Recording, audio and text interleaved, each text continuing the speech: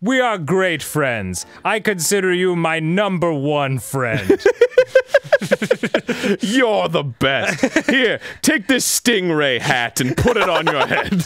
I'll call you Muzu. New, better Muzu. Newzu. That's a good one. King Dorephan! Surely you do not really intend to give this outsider the Zora armor? Countless generations of Zora princesses have gifted that armor to the one they have sworn to marry. Son, bring this weird stingray thing outside. Newzu, dispose of Muzu for my amusement.